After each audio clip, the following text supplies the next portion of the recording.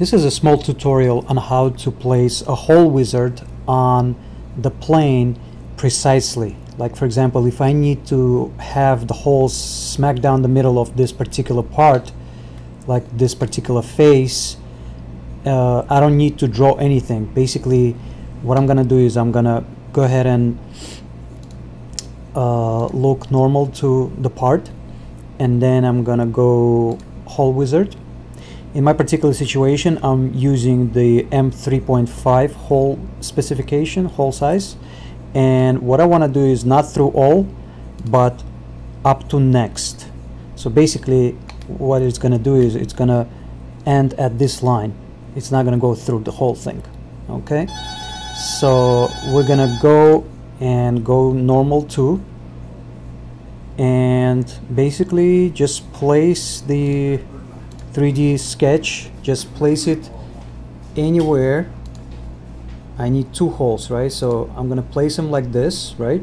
And without exiting the uh, the hole wizard I'm gonna go to smart dimensions smart smart dimension and click on the center line over here. And next is I'm gonna basically come to this edge right here okay? I want it to be 10 millimeters away from it. So I'm gonna punch in 10 and hit enter.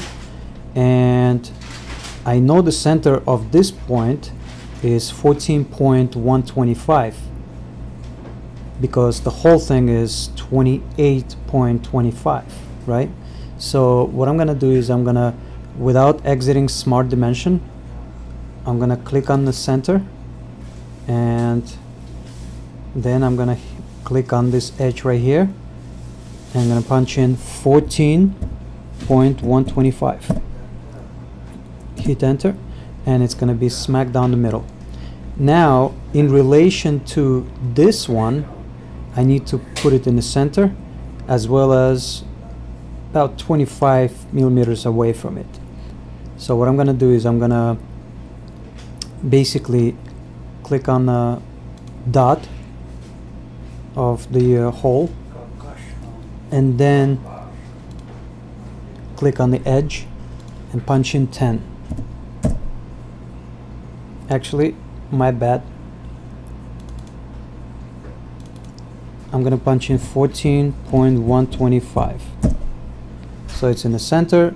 And now we're gonna position starting from this point to this point we're gonna make it 25 millimeters away from each other.